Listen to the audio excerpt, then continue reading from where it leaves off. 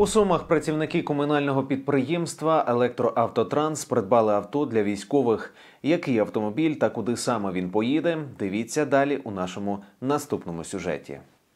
Колектив міського автотранспортного підприємства, який складається з понад 450 людей, зібрав кошти на автомобіль Форд для військових. Працівники комунального підприємства виявили таку ініціативу долучитися до нашої ініціативи, е, до моєї ініціативи, до ініціативи е, забезпечення добровольчих формувань. Цю машину ми запланували передати військовому підрозділу, який за як- який знаходиться.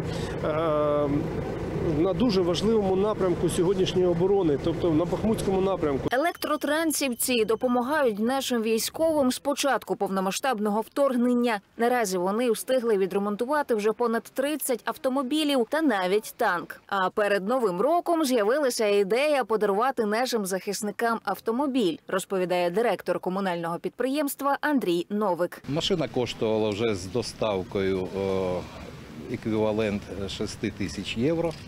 От, ну ще трішки грошей ми витратили на підготовку.